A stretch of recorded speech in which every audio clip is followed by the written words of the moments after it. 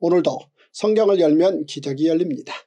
모든 성경 이야기에는 첫째 하나님의 법, 둘째 하나님의 극률, 셋째 하나님의 기적이 들어있습니다.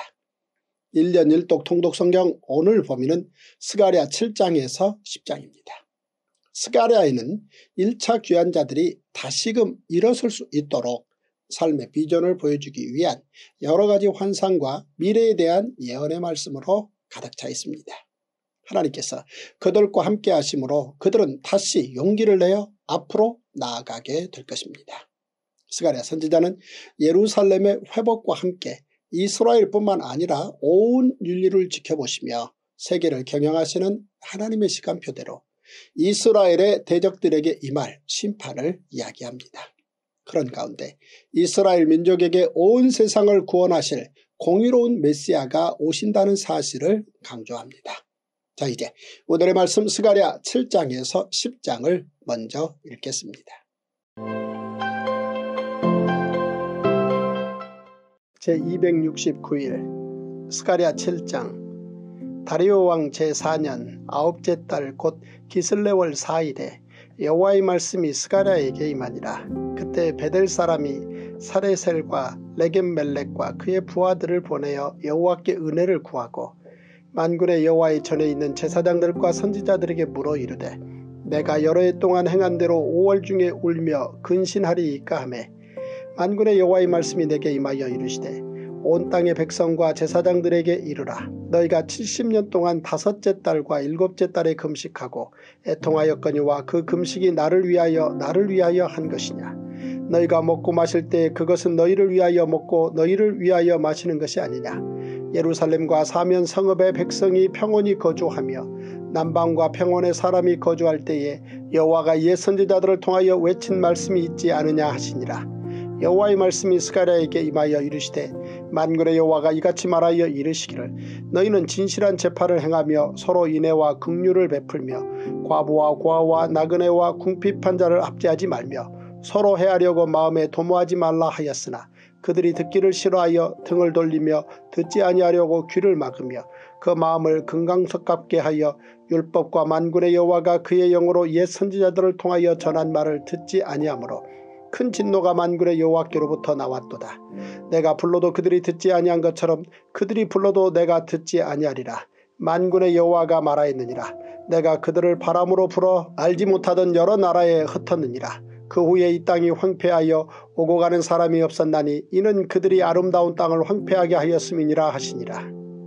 스가랴 8장 만군의 여호와의 말씀이 임하여 이르시되 만군의 여호와가 이같이 말하노라. 내가 시오를 위하여 크게 질투하며 그를 위하여 크게 분노함으로 질투하노라. 여호와가 이같이 말하노라. 내가 시온에 돌아와 예루살렘 가운데 거하리니 예루살렘은 진리의 성읍이라 일컫겠고 만군의 여호와의 산은 성산이라 일컫게 되리라. 만군의 여호와가 이같이 말하노라 예루살렘 길거리에 늙은 남자들과 늙은 여자들이 다시 앉을 것이라.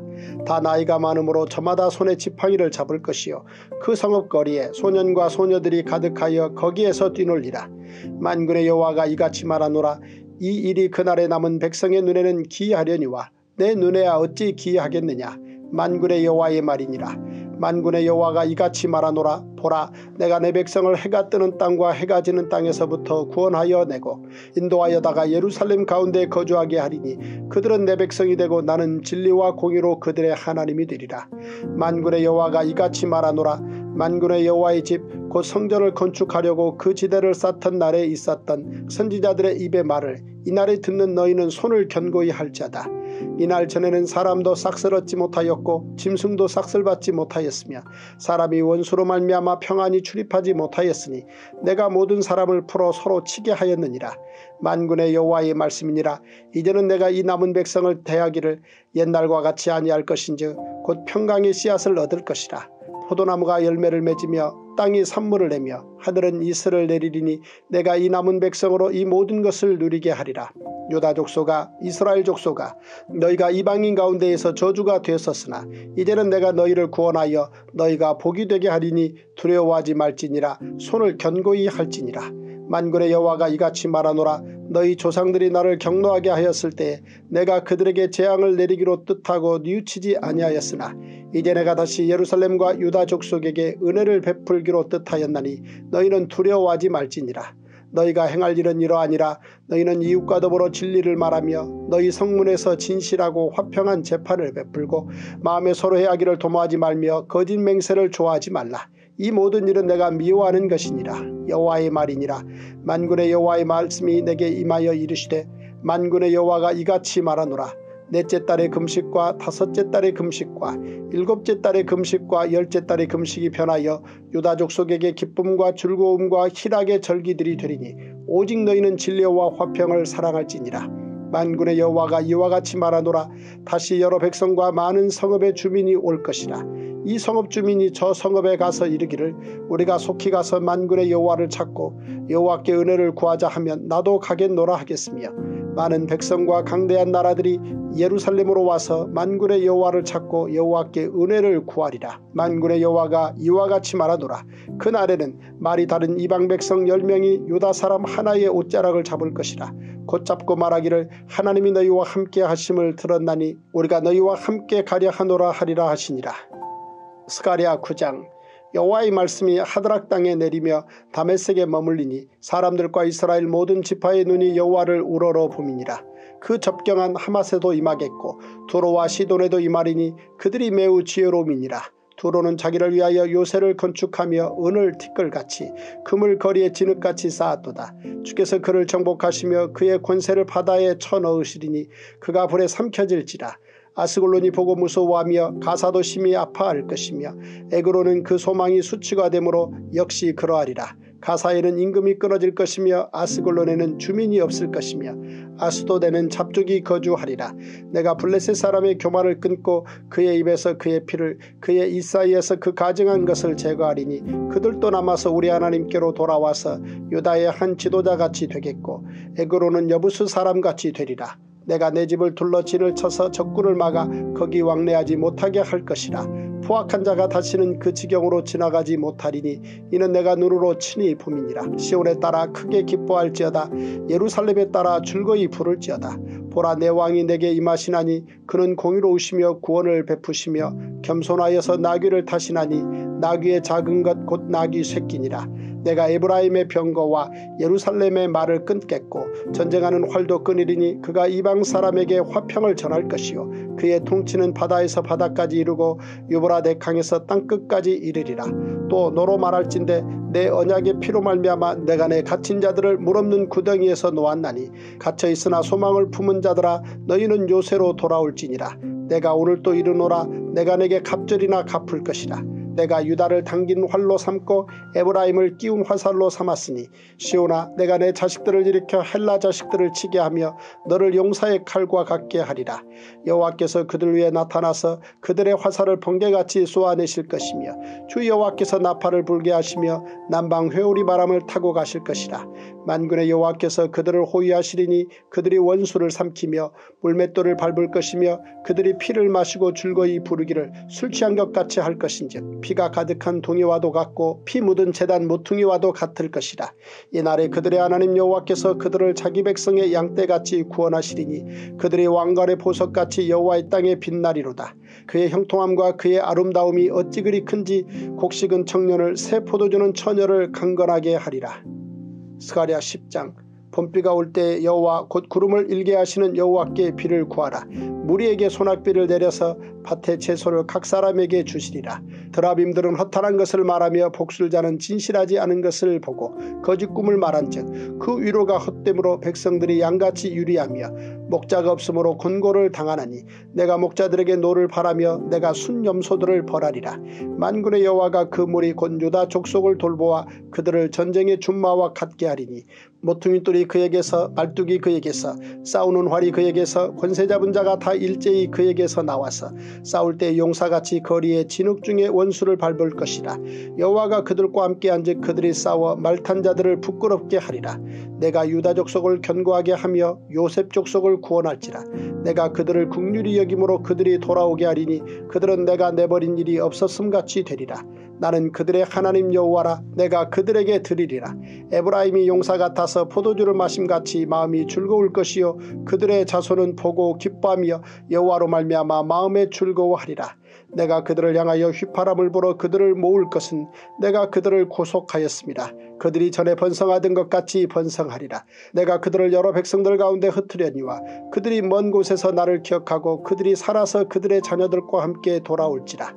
내가 그들을 애굽 땅에서 돌아오게 하며 그들을 아수르에서부터 모으며 길라앗 땅과 레바논으로 그들을 이끌어가리니 그들이 거할 곳이 부족하리라. 내가 그들이 고난의 바다를 지나갈 때에 바다 물결을 치리니 나일의 깊은 곳이 다 마르겠고 아수르의 교만이 낮아지겠고 애굽의 귀가 없어지리라.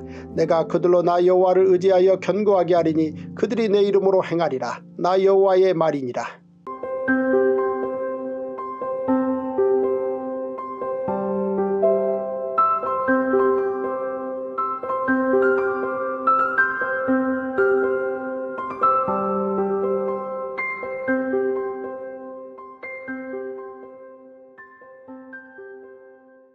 오늘의 말씀 스가랴 7장에서 10장에 등장하는 성경 지리 즉 공간은 예루살렘과 사면 성읍 하드락 다메섹 하맛 두로 시돈 아스글론 가사 에그론 아스돗 애굽 앗수르 길르앗 레바논입니다. 그리고 등장인물은 스가랴 다리오 벧엘 사람 사레셀 레겐멜렉입니다. 1차 귀환자 중 벧엘 사람이 성전에 있는 제사장과 선지자들에게 5월에 금식해야 하냐고 물었습니다. 베델은 예루살렘 북쪽 세겜 방향으로 약 19km, 아이성의 서쪽 약 3km 지점에 있습니다. 일찍이 아브라함이 이곳 베델에서 재단을 쌓았고 이후에 에서를 피해 도망하던 야곱이 사닥다리 꿈을 꾼 후 베개로 삼았던 돌을 기둥으로 세우고 루스였던 곳을 베델이라 불렀습니다. 그리고 바벨론에서 예루살렘으로 귀환한 1차 귀환자들 가운데 베델과 아이 사람들이 223명이었다는 성경 기록이 있습니다. 베델 사람의 금식에 대한 질문은 BC 586년 남유다가 바벨론 제국에게 멸망하고 예루살렘 성전이 불타 없어진 후 이제까지 매년 5월마다 금식을 해왔는데 앞으로 그 금식을 어떻게 해야 하느냐는 질문이었습니다. 즉 성전 재건 공사를 시작하고 있으니 근신하며 금식하는 일을 계속해야 하는지를 물은 것입니다. 베델 사람의 금식 질문을 계기로 하나님께서는 스가랴를 통한 네 번의 답변으로 귀한 공동체에게 교훈을 주십니다. 하나님의 첫 번째 답변은 위선적인 신앙에 대한 책망이었습니다. 온 땅의 백성과 제사장들에게 이르라. 너희가 70년 동안 다섯째 달과 일곱째 달에 금식하고 애통하였거니와 그 금식이 나를 위하여 나를 위하여 한 것이냐. 너희가 먹고 마실 때 그것은 너희를 위하여 먹고 너희를 위하여 마시는 것이 아니냐. 예루살렘과 사면 성읍의 백성이 평온히 거주하며 남방과 평원에 사람이 거주할 때 여호와가 옛 선지자들을 통하여 외친 말씀이 있지 않느냐 하시니라. 하나님께서는 지금까지 70년 동안 해온 5월과 7월의 금식이 하나님을 위한 것이 아니었음을 밝히십니다. 또한 그들이 선지자들의 외침을 외면했다는 것도 말씀하십니다. 원래 금식은 인간 스스로의 만족과 유익을 위해 하는 것이 아니라 오직 하나님 말을 진정으로 생각하며 기도하는 것입니다. 그런데 남유다 백성들은 자기를 위하여 금식하고 있었던 것입니다. 또한 그들은 스스로의 종교적 이기심을 만족시킬 목적으로 금식했습니다. 하나님께서는 오히려 남유다 백성들에게 누구를 위하여 금식하며 누구를 위해 기도했는가를 물으십니다. 이어서 하나님께서 두 번째 답변으로 귀한 공동체에게 불순종한 과거를 상기시키며 회개를 촉구하십니다. 너희는 진실한 재판을 행하며 서로 인애와 긍휼을 베풀며 과부와 고아와 나그네와 궁핍한 자를 압제하지 말며 서로 해하려고 마음에 도모하지 말라 하였으나 그들이 듣기를 싫어하여 등을 돌리며 듣지 아니하려고 귀를 막으며 남유다 백성들이 그동안 하나님의 말씀을 듣기를 싫어하고 마음을 금강석같이 굳게 했다고 지적하십니다. 그 때문에 그들이 하나님의 진노로 처벌을 받았던 것입니다. 이어서 하나님께서는 세 번째 답변으로 이스라엘의 회복을 약속해 주시며 순종할 것을 요구하십니다. 유다 족소가 이스라엘 족소가 너희가 이방인 가운데에서 저주가 되었었으나 이제는 내가 너희를 구원하여 너희가 복이 되게 하리니 두려워하지 말지니라 손을 견고히 할지니라. 하나님께서는 이스라엘이 회복되는 날, 즉 성전이 재건되고 궁극적으로는 하나님의 나라가 완성되는 기이한 날을 오게 할 것이라고 말씀하십니다. 즉 하나님께서 첫째 예루살렘 성읍을 회복시켜 주실 것입니다. 둘째 하나님께서 온 백성들을 장수하게 하실 것이며 안전하게 거할 수 있는 예루살렘 성읍이 되게 해 주실 것입니다. 셋째 귀한 공동체가 하나님의 백성으로 회복될 것입니다. 넷째 하나님께서 성전을 회복시켜 주실 것입니다. 다섯째 하나님께서 땅을 회복시켜 주시고 풍요를 주실 것입니다. 하나님께서는 이렇게 귀한 공동체와 함께하겠다고 약속하시면서 서둘러 성전을 지으라고 말씀하십니다. 그리고 하나님께서 이스라엘의 회복을 다시 확인해 주십니다. 이는 하나님께서 은혜 언약을 기억하셔서 이스라엘을 다시 온전하게 회복시켜 주겠다고 약속해 주신 것입니다. 그러면서 하나님의 말씀에 순종하는 귀한 공동체가 되기를 촉구하십니다. 이제 하나님께서 마지막으로 네 번째 답변을 주십니다. 하나님의 답변은 금식이 변하여 기쁨과 희락의 절기가 될 것이라는 약속입니다. 하나님께서는 그동안 바벨론 포로 남유다 백성들이 지켜왔던 5월 금식뿐만 아니라 4월, 5월, 7월, 10월의 금식이 기쁨과 희락의 절기들이 될 것이라고 말씀하십니다. 더 나아가 금식했던 날들이 이스라엘의 절기를 넘어 온 민족을 향한 절기가 될 것이라고 말씀하십니다. 결국 이스라엘의 회복은 모든 민족에게 구원의 통로가 되는 제사장 나라의 회복인 것입니다.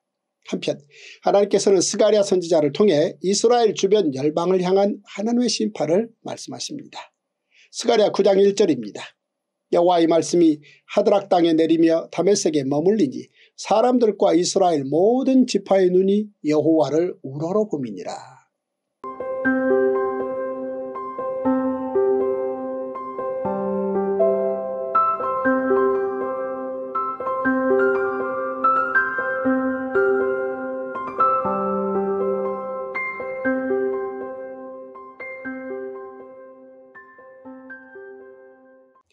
하드락은 회귀라는 뜻입니다.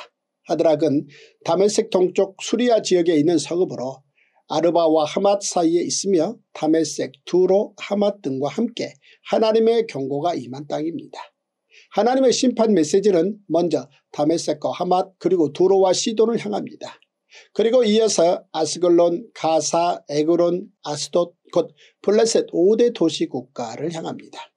하나님께서는 이러한 중에도 귀한 공동체를 친히 보호해 주시고 원수들의 칼날과 방해를 미리 제거해 주시며 불꽃 같은 눈동자로 지켜주겠다고 약속해 주십니다. 이제 스가랴 선지자는 구원을 베풀 왕을 선포합니다. 이는 장차 오실 메시아를 예언한 것입니다. 메시아의 모습은 첫째 공의로우시며 구원을 베푸실 왕으로 오십니다. 둘째 메시아는 겸손하여 나귀 새끼를 타고 오실 것입니다. 이 예언은 예수님께서 예루살렘에 입성하실 때 성취됩니다. 셋째 메시아는 전쟁을 없애시고 화평을 전하실 것입니다. 넷째 메시아는 온 세상을 통치하실 것입니다. 다섯째 메시아는 갇힌 자를 구원하실 것입니다. 여섯째 메시아는 승리하실 것입니다. 일곱째 메시아는 양떼 같은 자기 백성을 구원하시며 자기 백성을 왕관의 보석같이 빛나게 하실 것입니다. 여덟째 메시아는 풍성한 복을 주실 것입니다. 하나님께서는 스가랴 선지자를 통해 메시아의 구원사에게 걸림이 될 거짓 목자들 즉 드라빔으로 허탄한 것을 말하는 자 복술자 그리고 거짓 꿈을 말하는 자들을 심판할 것이라고 말씀하시며 승리의 왕 메시아를 선포하십니다. 모퉁이 똘이 그에게서 말뚝이 그에게서 싸우는 활이 그에게서 권세 잡은 자가 다 일제히 그에게서 나와서 싸울 때에 용사같이 거리의 진흙 중에 원수를 밟을 것이라. 여호와가 그들과 함께 한즉 그들이 싸워 말탄 자들을 부끄럽게 하리라. 이는 이스라엘 모든 지파가 하나님의 구원하심으로 인해 즐겁게 살고 번성할 것을 말씀하신 것입니다. 이제 하나님께서는 스가랴 선지자를 통해 모든 민족 가운데 흩어져 있던 이스라엘 백성들을 다시 모으고 그들을 견고하게 할 것이라고 약속해 주십니다. 오늘도 성경을 열면 기적이 열립니다. 시대가 어려울수록 근본인 성경에 더욱 기초해야 합니다. 가까우신 소중하신 분과 오늘의 이 이야기를 꼭 공유해 주시고 구독과 좋아요 눌러주십시오. 성경 한 권이면 충분합니다. 와우!